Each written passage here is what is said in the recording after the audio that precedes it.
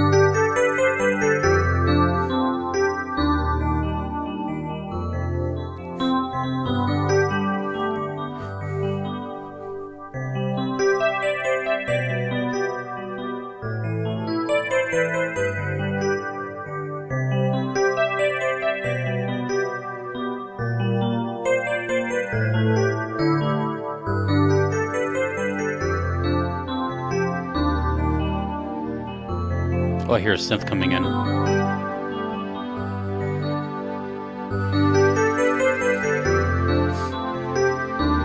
Hmm. This is going to be an interesting reaction. I'll explain later.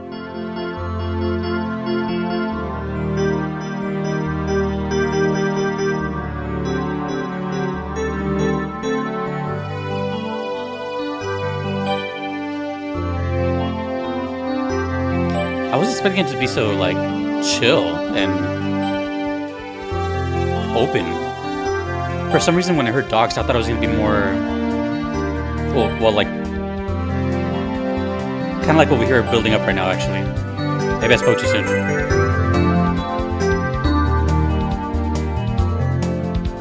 Hey, okay. I, I love, I love faded in percussion. It's so rare.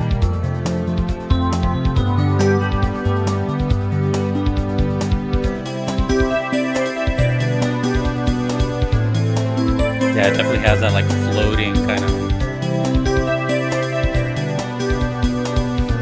hold our breath type of sound.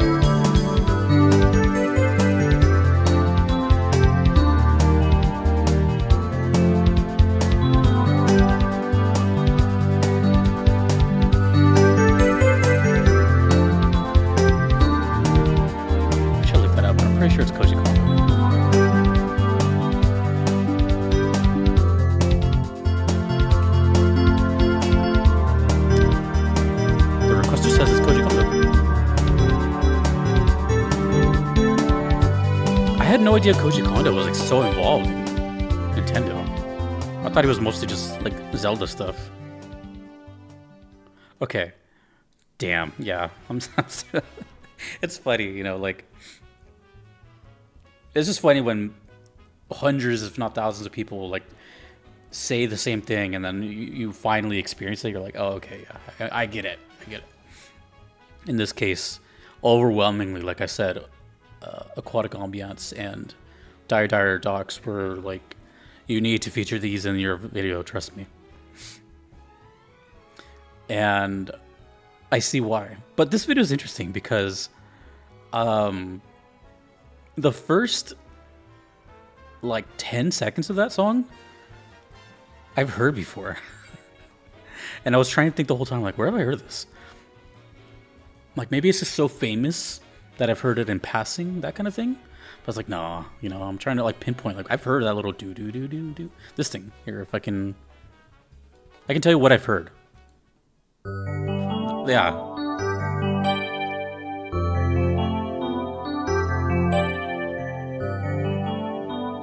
I think pretty much just this whole intro. I'll tell you when. But hold on.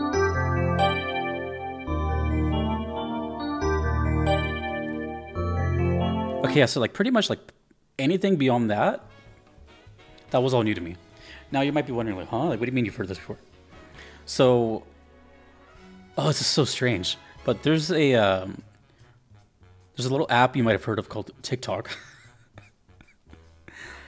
and if you've never used it, it's basically like Vine. If you've never used Vine, it's just like, you know, short videos that people make, just whatever. Basically, yeah, whatever. Um, but there's also certain like categories, and sometimes uh, some of my favorite videos are like nostalgic based ones. So it's like stuff from like the 90s. You'll see like, it, you'll literally just see like slideshows of like, uh, I don't know, RC cars and uh, books from like like um what was this called? Um, the Scholastic Book Fairs, you know, stuff like that. Damn, that just brought me back. Stuff like that, you know, book orders, and and I'll always have this playing in the background. So technically, I've kind of heard it, but uh, but from what I said, just those those like first like 15, 20 seconds. I never made the connection that it could be VGM. So that's actually kind of bizarre, because once I the song started going, I'm like, oh wait a minute, this is actually like obviously more in depth, and I started hearing all these new things. So like 90% of that song I never experienced until just now. So the the synth chords coming in, that's new to me. That's really cool. Uh, like it, pretty much the whole song was new, and I was expecting going into this a couple things. One, it's to sound aquatic, right? It's the reason I'm hearing it. But also, for some reason, when I heard or saw docks in the title, I wasn't expecting the kind of chill vibe at all. Normally, in my head, when I think aquatic, I think either underwater or in the background or just big emphasis on water. When I think docks, I think land, above water, boats, you know what I mean? So I was thinking more maybe it would sound like a town theme, or it sounds like it could be a town theme. I don't know. But to me, this sounded more like very aquatic, very, and is amphibian the right word? I don't know, but it sounded way more blue than I envisioned it. And then hearing, uh, you know, I was expecting percussion and some sort of like kind of little groove, and then the drums kicked in, and it was starting to fulfill that sound, but also a mixture of uh, I guess your traditional aquatic sound.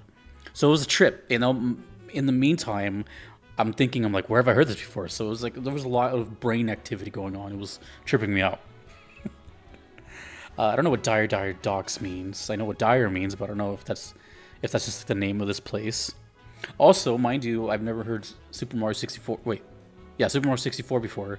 So I had all these emotions. I'm like, damn, dude, this is like this is gonna get watched. This is gonna get watched by a lot of people. So, you know, it's just, I'm trying to like get empathy here, but in reality, just that was a lot to take in for three minutes. There was a lot of things firing off in my head. And also, Koji Kondo was another thing I was thinking of too. Uh, that's a name I've I've known for a while, but I was unfamiliar. Well, let me rephrase that. I heard, I think it was Odyssey, whatever Steam Gardens is from. That song. I've been hearing that song for a while now, for like two years. Some people are probably like only two years, but I've been hearing that for a while. It's one of my favorite like songs I heard on the channel. I discovered it here, and I found out that was Koji Kondo.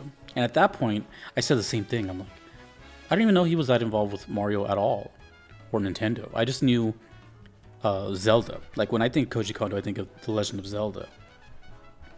Which is also funny because my knowledge of Zelda is so limited. I know like four or five songs.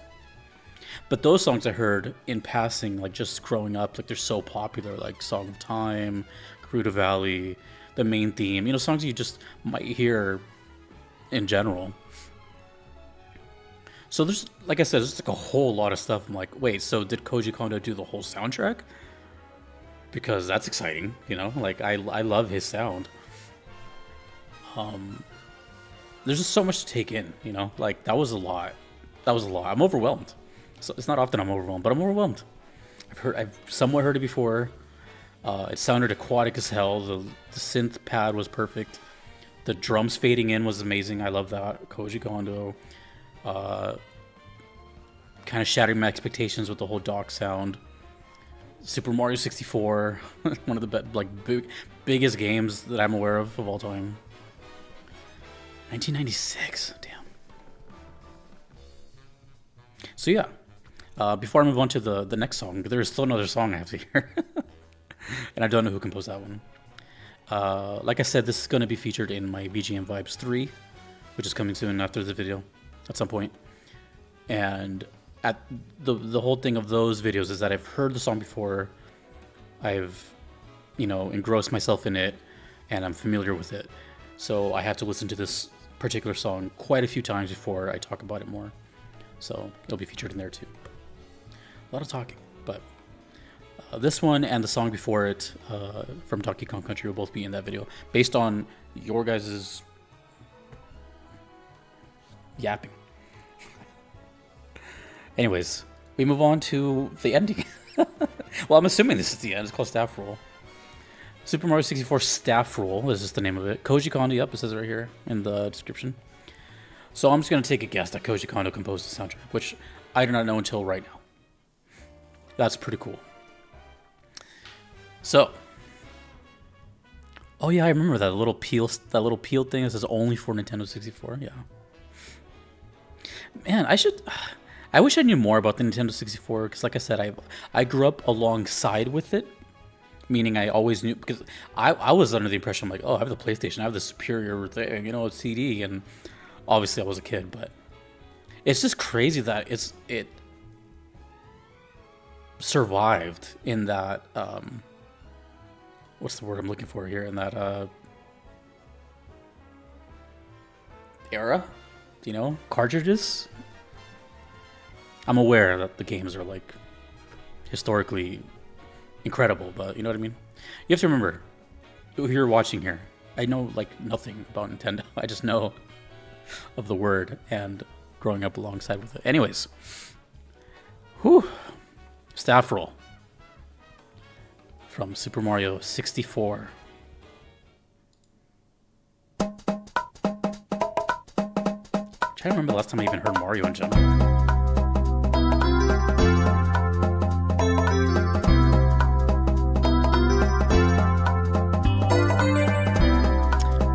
Makes you wonder, or makes me wonder, if it, if the soundtracks were at all limited because of the cartridge which might in fact give it that like charm.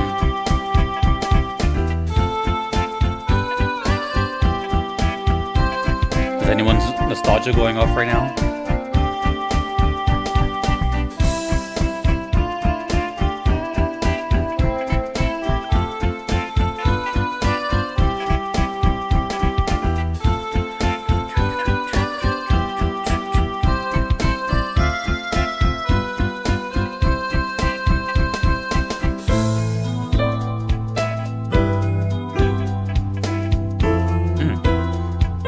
sounds like the the dog song.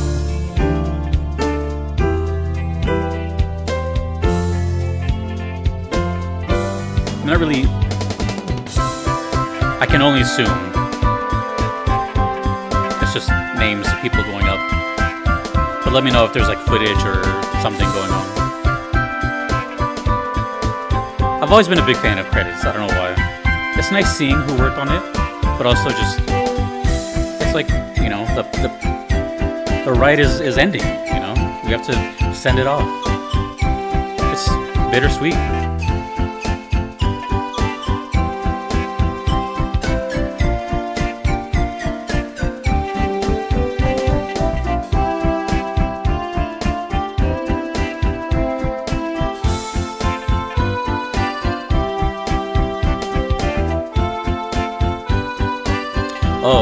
Just remembered why the whole Koji Kondo thing was confusing to me. Because I know Yoko Shimomura also has dabbled in Mario stuff.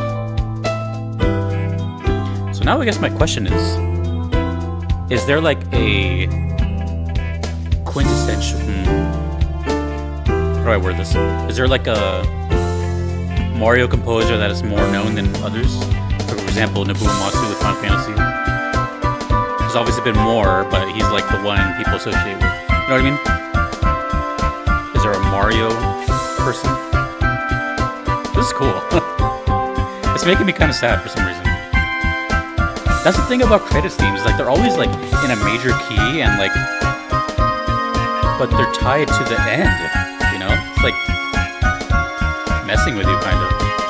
Let me know if anyone else feels that or if that's me. It's like happy tear kind of music. Like, we did it.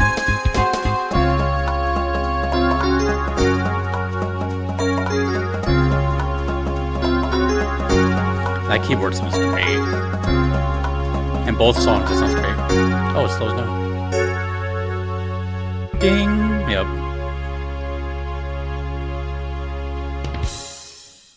Thanks for playing. Special thanks to you. I actually kind of like that little drum uh, fill at the end though. It actually kind of now that I think about it, that has that has kind of um, I don't know if it's a cliche, but it's uh, I feel like a lot of credits teams have that. it's like the ending drum beat.